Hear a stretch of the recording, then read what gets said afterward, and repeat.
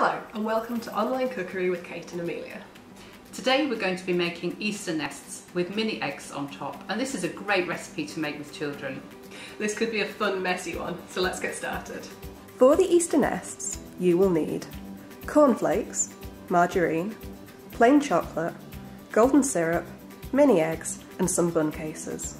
I'm going to start by melting together the chocolate, the syrup and the margarine. You can do this in one of two ways.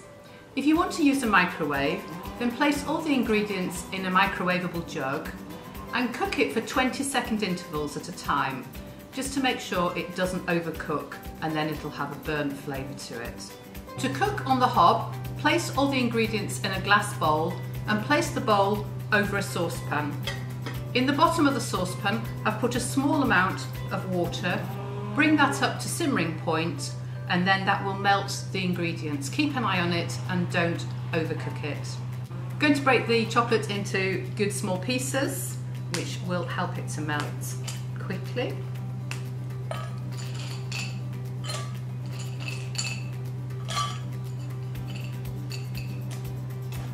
Then I'm going to add 50 grams of margarine.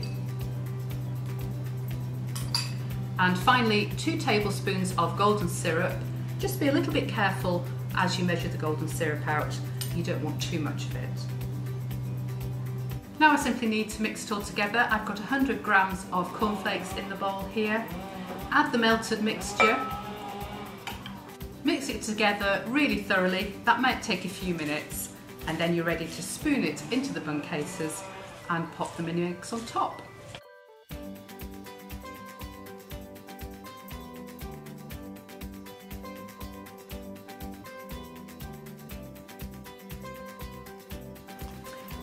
Once you've done that, put it in the fridge for about an hour for them to set firmly. Happy Easter!